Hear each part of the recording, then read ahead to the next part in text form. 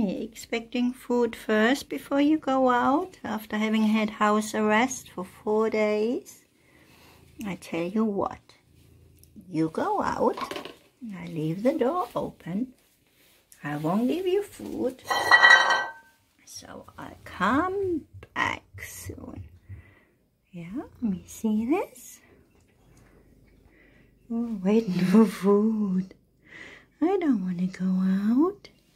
I want food first. Hey, Simba. Here, smell freedom. Don't you want to go out? Oh, very carefully. Eh? Do you know the outdoors? No. Timothy knows he's allowed out. Already waiting. Hi.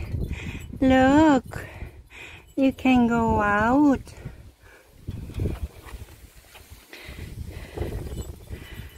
Ah.